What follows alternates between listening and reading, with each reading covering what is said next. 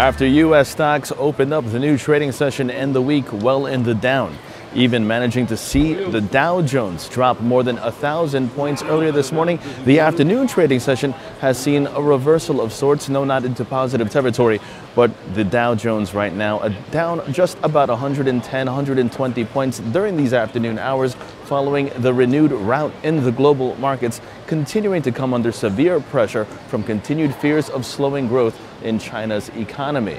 Now, the Dow Jones Industrial Average last trading down about 130 points this afternoon with a few more hours left of trade.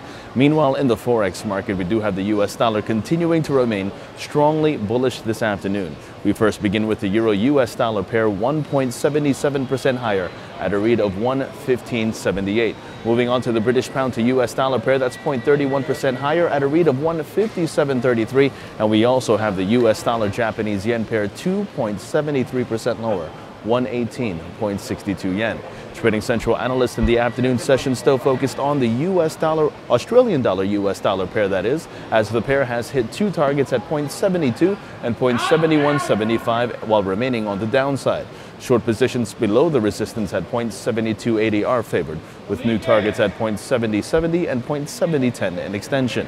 Moving on to precious metals, we continue to see mixed trade. We first take a look at gold, which is in focus, as gold has hit two targets at 1165.50 and 1168.30 in extension, while still remaining on the upside. Long positions above the resistance at 1149 are favored with up targets at 1168 and 1173 in extension. Uh, we conclude with silver prices this afternoon. 4.19% lower at a rate of $14.70 a troy ounce. And don't forget to follow Trading Central on Twitter at Trading Central for all of your Forex market updates. And for Trading Central Web TV from the floor of the New York Stock Exchange on a Monday afternoon, I'm James Sweeney.